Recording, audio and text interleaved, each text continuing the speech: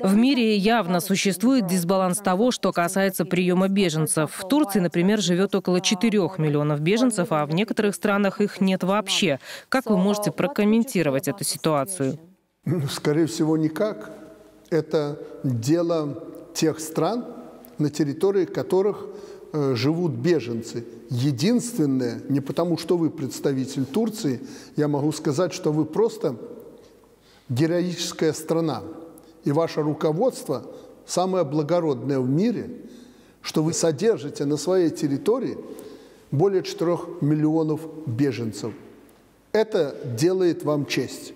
Это большая проблема и очень сильная головная боль для таких государств и в первую очередь для вашего государства, для Турции. Кто-то из корреспондентов в этом временном центре для беженцев на границе спросил о финансовой помощи. Вы сказали об Эрдогане, что он может помочь. Значит ли это, что вы считаете Эрдогана лидером мусульманского мира? Что я имел в виду?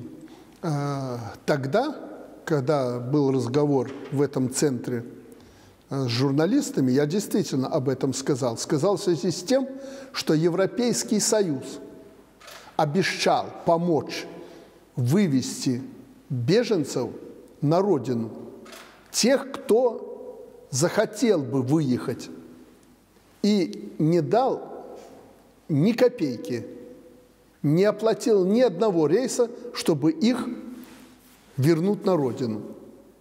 И когда журналист об этом мне спросил, я ему сказал, мы и просить не будем Европейский Союз. Если нужно, попросим Реджепа Эрдогана, чтобы он нам помог. Вот в связи с чем был затронут этот вопрос. Что касается второй части вашего вопроса о лидерстве Эрдогана в мусульманском мире, хочу сказать следующее – считаю я или не считаю лидером Эрдогана в мусульманском мире, он уже стал значимой фигурой в этом мусульманском мире.